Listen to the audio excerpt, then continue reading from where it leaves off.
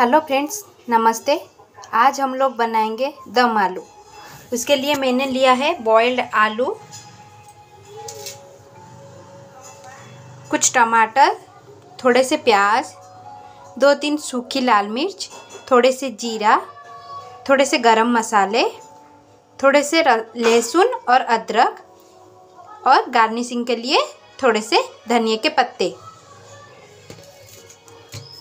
दो तीन चम्मच दही, दम आलू मसाला, कश्मीरी लाल मिर्च, हल्दी पाउडर, नमक, सरसों तेल। गैस ऑन करके कढ़ाई को हम गरम कर लेंगे और आलू को थोड़ा सा मैरिनेट कर लेते हैं। ऐड करेंगे थोड़े से नमक, थोड़ी सी लाल मिर्च पाउडर थोड़ी सी हल्दी पाउडर। कढ़ाई गरम हो गई है, उसमें ऐड करेंगे सरसों का तेल।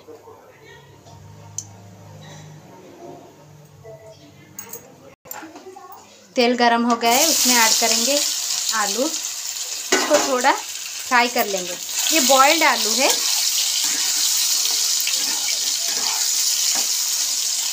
जब तक आलू फ्राई होता है, हम एक मसाला का पेस्ट हम एक मसाला का पेस्ट रेडी कर लेते हैं। इन सबको हम इकट्ठे पीस लेंगे। आलू अच्छे से फ्राई हो गया है, अब इसको निकाल लेते हैं। इसी तेल में ऐड करेंगे थोड़ी सी चीनी।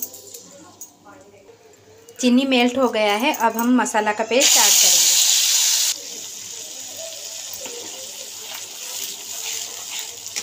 अच्छे से मिला लेंगे।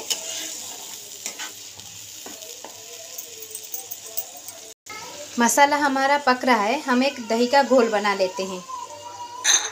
दही में ऐड करेंगे हल्दी पाउडर काश्मीरी लाल मिर्च पाउडर और दम आलू मसाला। मसाला पक रहा है, हमने जो दही का घोल बनाया था, इसको अभी ऐड कर लेंगे इसमें। लगातार इसको चलाते रहना है, जब तक कि इसमें उबाल ना आ जाए, नहीं तो हमारा दही जो है फट जाएगा।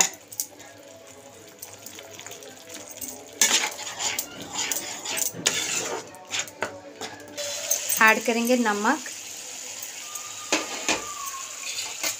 अच्छे से मिला लेंगे।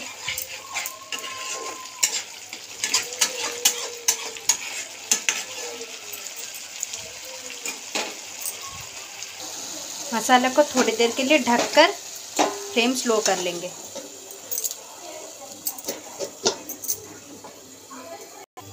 ढक्कन निकाल के देख लेते हैं। मसाला हमारा अच्छे से पक गया है। इसमें ऐड करेंगे आलू।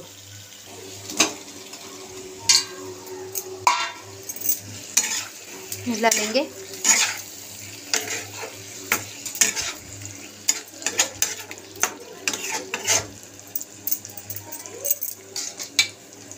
थोड़ी देर के लिए ढक लेते हैं। गरम मसाला का थोड़ी देर के लिए ड्राई रोस्ट कर लेते हैं। इसका एक पाउडर बनाकर करी में हम, ऐड करेंगे।